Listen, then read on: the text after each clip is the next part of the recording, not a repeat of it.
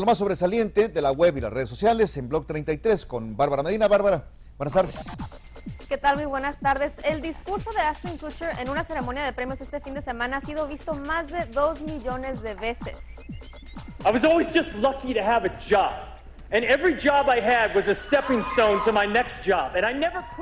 El actor reveló su primer nombre, Chris, durante su discurso reconocido como inspirador ya por muchos. Habló sobre la importancia de superarse y de cómo las oportunidades son muy parecidas al arduo trabajo.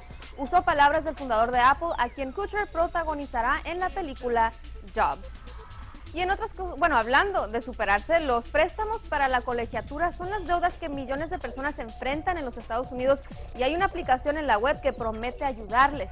La página web tuition.io ayuda a organizar la deuda educativa, ofrece gráficas financieras, envía alertas para los pagos y ofrece opciones para ahorrar.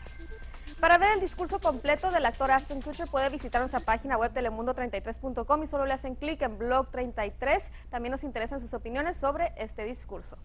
Gracias, Bárbara.